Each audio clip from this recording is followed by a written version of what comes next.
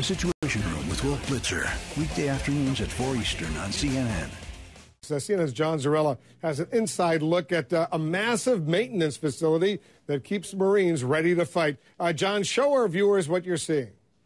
Yeah, you know, Wolf, uh, most of us probably don't even think about what happens to all these thousands upon thousands of pieces of equipment coming back from Iraq and Afghanistan now with the drawdown. A lot of it ends up on an island. Think of it like an auto repair shop. One thing that we found, it has a fuel leak. But not any you've been to. It's not like you take your car to the dealership and say, you know, it's skipping. And they say, well, this is your vehicle, go fix it. What are they fixing? Thousands of pieces of beat up Marine Corps equipment and armor used to fight in Iraq and Afghanistan. This cavernous maintenance facility sits on Blount Island near Jacksonville, Florida. When marine hardware returns from anywhere in the world, it comes here. It's cleaned and repaired, upgrades are made, the kind that save lives.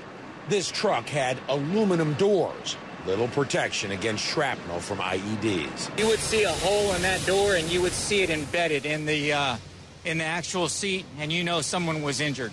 Now the entire cab of the Marines' 7-ton trucks are armor plated. Wow. When the maintenance contracted to Honeywell is complete, every piece must be combat ready. Why? Because it's headed right back out. This is the 900 foot long climate controlled Fred Stockham. Six decks are filled with armored personnel carriers, amphibious assault vehicles, Humvees, road building equipment, everything the Marines would need to fight or handle a humanitarian mission. It will take seven days, working 24 hours a day, to completely load the ship and lash everything down for the trip.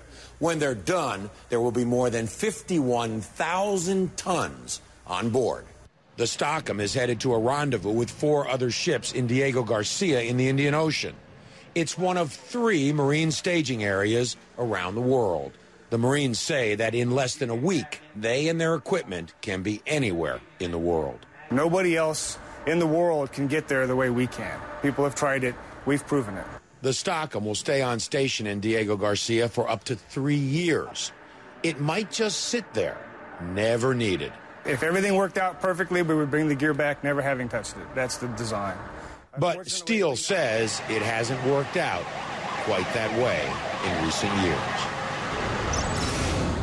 Now, one of the things they do, Wolf, is they fumigate all of that equipment before it comes home, and then they fumigate it again before it leaves. On the boat, they fumigate it. Well, it doesn't always work. They were telling me that back in 2009, on one of the ships, they ended up with an infestation of spiders.